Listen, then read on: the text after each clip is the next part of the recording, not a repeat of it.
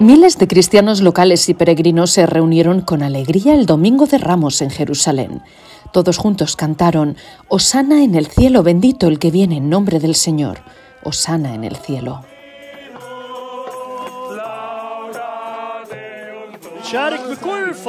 Participamos con alegría, con todo el amor. Mira a estas personas de todo el mundo. Bendito sea Dios. Miles de participantes han venido a repetir los pasos de Cristo, los mismos que hizo a lomos de un burro. Caminaremos con Cristo durante toda nuestra vida, no solo desde Betfagé hasta la antigua Jerusalén, porque el cristianismo es vida.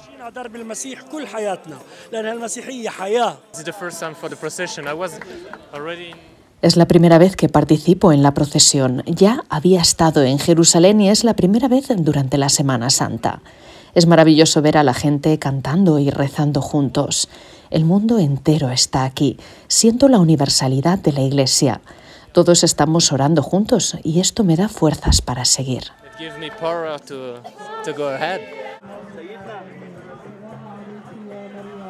La procesión encabezada por Pier Batista Pizzabala, patriarca latino de Jerusalén, junto con Monseñor Adolfo Tito Illana, delegado apostólico para Jerusalén y Palestina, Fray Francesco Patón, custodio de Tierra Santa, así como numerosos sacerdotes de diferentes comunidades religiosas, recorrieron las calles de Jerusalén, todos proclamando su fe.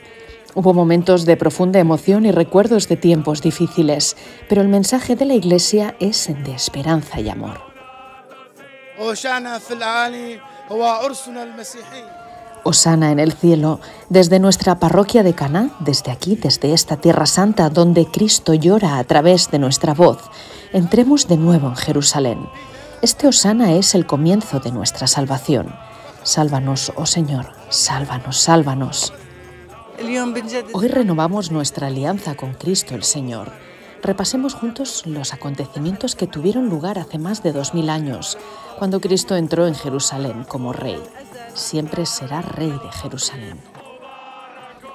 La celebración del Domingo de Ramos ha mostrado la fuerza y la unidad de la comunidad cristiana, así como un rostro más de Jerusalén, dijo el patriarca latino de Jerusalén durante su discurso al final de la procesión en la iglesia de Santa Ana. Jerusalén no es solo división, odio y tensión religiosa, como dice todo el mundo. Hoy hemos tenido una maravillosa experiencia de unidad, compañerismo en el nombre de Jesucristo. Hoy la comunidad cristiana de todo el mundo, junto con la comunidad cristiana local de Palestina, han expresado su amor en Jerusalén, que es el mismo amor por Jesucristo. Y nadie puede separarnos de este amor que es constitutivo de nuestra identidad de cristianos, cristianos de Jerusalén y de Tierra Santa.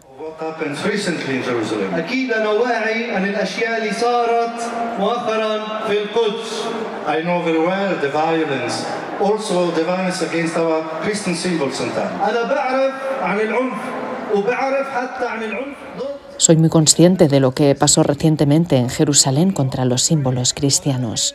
No tengáis miedo, nunca tengáis miedo. El amor de Jesús es más fuerte que cualquier otra cosa.